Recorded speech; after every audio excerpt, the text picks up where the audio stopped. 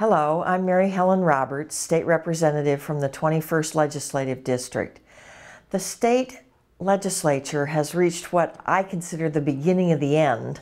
We have about two and a half more weeks to go, and we are approaching probably the most difficult challenges, and that is of adopting a budget for the next two years for the biennium. This is the state's budget proposal. A lot of paper, a lot of dollars. But because of the current deficit in our revenue, which is now almost $9 billion, what this represents is a lot of tough decisions and mostly cuts.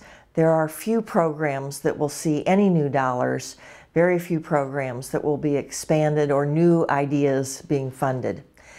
What concerns me is that some of the things that I consider really sort of the heart of what state government is able to do are also facing cuts. Education is our primary responsibility here, and cuts will end up costing us about three to 4,000 classroom teachers. That means classrooms be, will be a little more crowded. Um, there won't be the kind of teacher training that we have done in the past. Um, not what, what I would hope for. We are also making major cuts in our healthcare programs. There is a program called the Basic Health Plan, you may be familiar with that, that provides healthcare coverage on a sliding fee scale based on a family's ability to pay.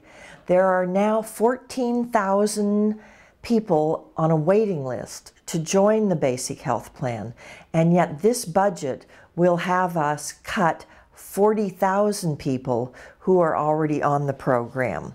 Parks is something we have talked a lot about, and we've actually decided to try and take a new approach to funding the parks.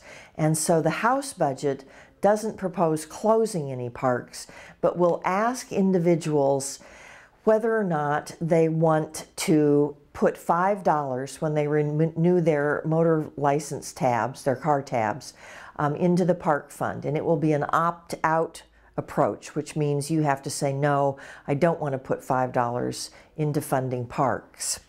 Also, higher education is an area where we expect to take cuts.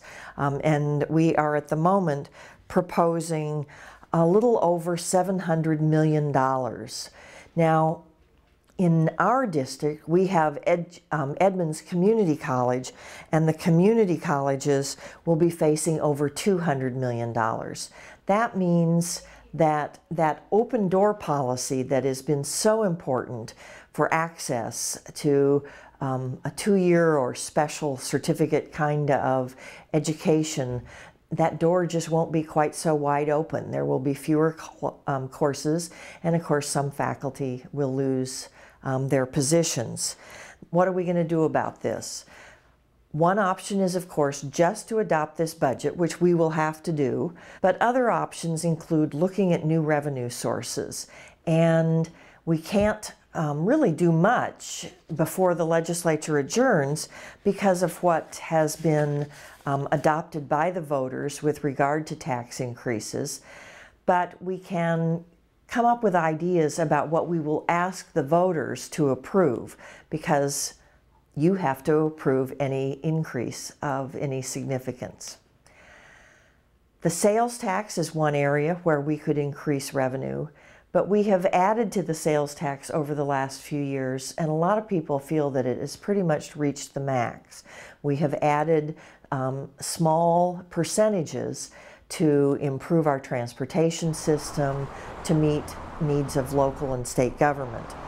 Also, years ago, we um, cut significantly the revenue that was brought in through what's called the motor vehicle excise tax, and that was your car tabs.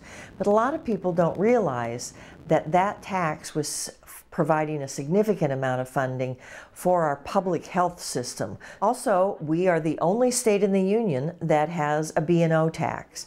That's a tax on our businesses, but it is particularly um, demanding on our small businesses. While that's an area we could increase taxes, it's one that I would oppose very strongly, just because I've never thought it was a very good tax to begin with. And also, we're looking for business to businesses to help improve the economic climate that will generate um, the dollars that our that our budget um, relies so much on. I guess I also want to just back up in, in the discussion of taxes and emphasize what you may already know that part of why we have this deficit is because we as a state rely so heavily on our sales taxes and the business taxes to keep the budget in balance. And when the economy is in trouble like it is today, the revenue that's coming in um, drops significantly. The last area that generates an amazing range of emotional reactions that we could explore is an income tax. Some people are looking at um, a significantly high income tax so that only those individuals who have an annual income of at least $500,000 would pay this tax. Or we could look at something that is more um, gradual, um, different levels of income with different percentages similar to the federal income tax. We could look at something that's a flat percentage of the federal income tax. But all of these um, are just ideas. They are just part of the conversation. And your voice in the conversation makes a big difference because you are the people that will ultimately have to approve of any of these proposals. The way the legislature might do this is that we would pass a referendum to the people saying, would you approve this increase in your tax? This budget, tax ideas are available on the website um, that is leap.leg.wa.gov, and that will be on the screen at the end of this presentation.